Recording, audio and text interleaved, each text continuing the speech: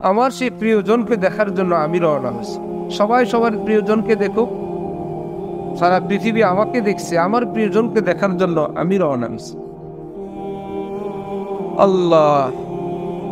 হজরত খাজা আজিজুল হাসান মজরুর রহমতুল্লাহ আলাই বলতেন, আমরা নতুন এই পৃথিবীতে, আমাদের রূহ আত্মাটা তো আজকের না।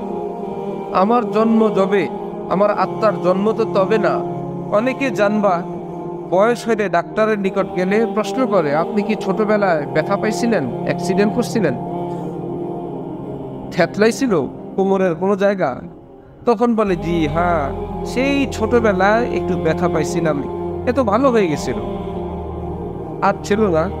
বলে যে, ছিল না, সেটাই এখন দেখা দিছে। সেই ব্যথাটা এখন দেখা দিছে।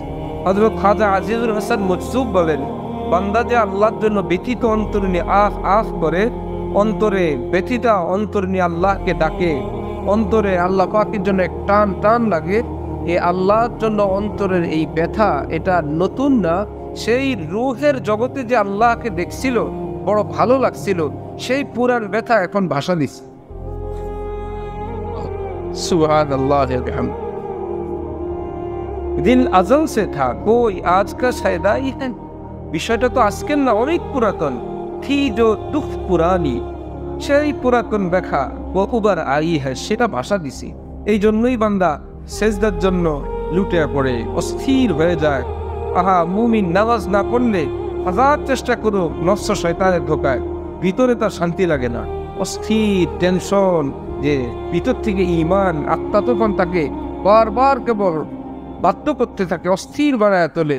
যে আল্লাহ সামনে একটু একটু মস্তকটা অবনত করবেন না, একটু কপালটা সেলবেন না, আল্লাহর সঙ্গে কি আমার মুলাকাত করাবেন না?